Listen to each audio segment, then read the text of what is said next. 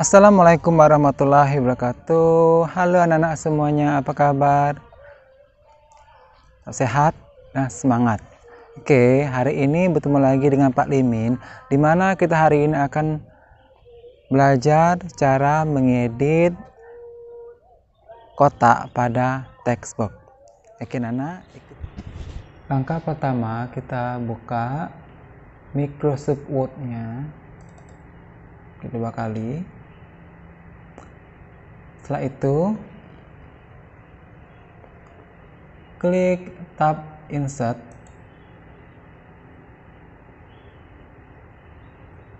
Pilih icon save pada grup illustration. Klik. Pilih yang paling atas sebelah kiri itu text box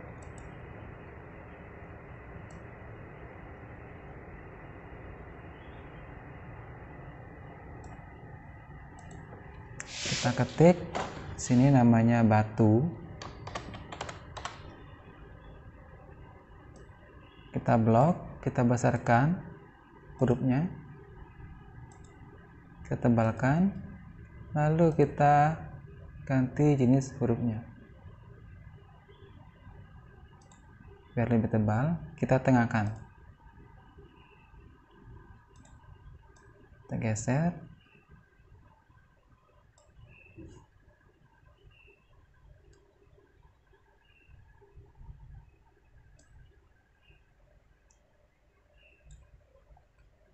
lalu kita buat lagi kotaknya. Klik insert pilih save icon save pilih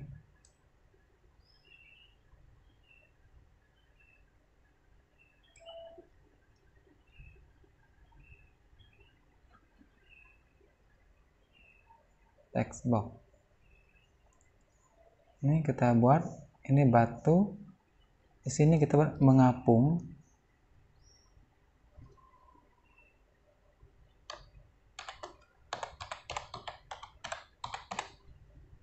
Mengapung kita blok lagi. Klik home kita ganti hurufnya. Kita ganti jenis hurufnya. Gunakan Wide Latin. Tawid Latin. Kita besarkan kalau di sini dia masih terlalu besar kita kecilkan hurufnya. Mengapung kita gantikan dengan 11 kita tengahkan. Lalu kita buka lagi buat lagi kotak textbooknya insert. Pilih icon save pilih text boxnya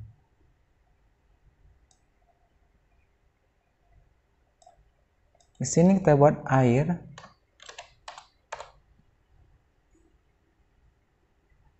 Kita blok kita besarkan klik home.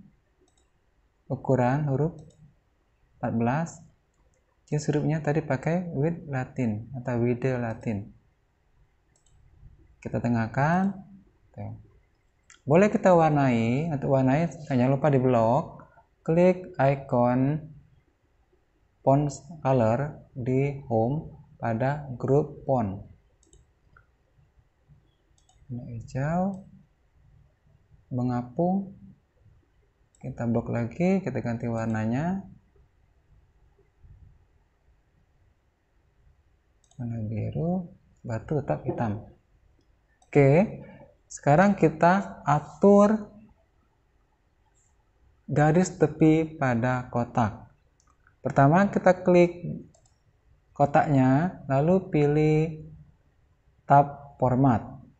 Nah ini harus diklik ya, sehingga dia akan tampil kotak eh, tab format. Kalau tidak diklik, tab formatnya tidak akan tampil. Contoh, Bapak matikan. Dia hilang kan? Nah caranya klik kotaknya baru dia tampil tab format. Diklik. Lalu klik save outline ya pada grup septil. Ini warna, ini boleh diwarnai kalau mau warnai. Oke, kita warnai garisnya. Lihat di warna merah. Tahu warna hijau. Oke, kita ganti warna hijau. Warna hijau. Terus klik lagi shape outernya kita ganti ukuran garisnya. Kita pilih yang 3 PT saja. Save, sudah jadi. Saatnya kotak di bagian mengapung. Klik lagi shape outline-nya. Bisa diwarnai ya. Lalu kita besarkan, klik lagi shape outline-nya. Pilih width. 3 PT sama kolom air kita besarin juga dan kita warnai terlebih dahulu. Warna merah kita tebali tekan width. Itu untuk mengganti ukuran garis kotak. Lalu kita ganti lagi dengan variasi lain yaitu garis putus-putus. Tetap kita klik di kotak airnya di sini ada das, eh, tahu dasis, desis, desis ya. Di sini ada putus-putus. Nah dia.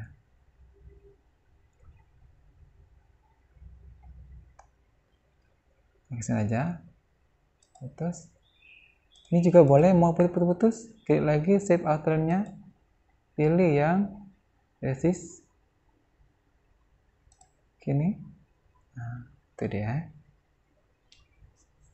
Itu cara untuk mengedit garis pada kotaknya di text box. Oke, selanjutnya kita kasih bayangan. Bayangan pada kotak. Kita klik kotak batu. Jangan lupa masih format ya. Di sini ada save effect.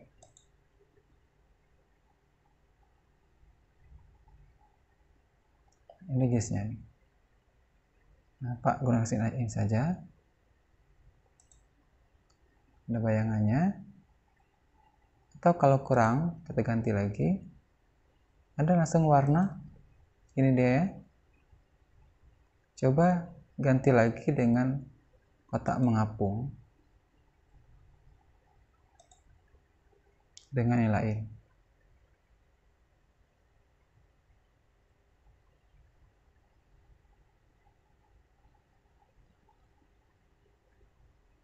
Nih, dia di bayangan bawah. Gitu.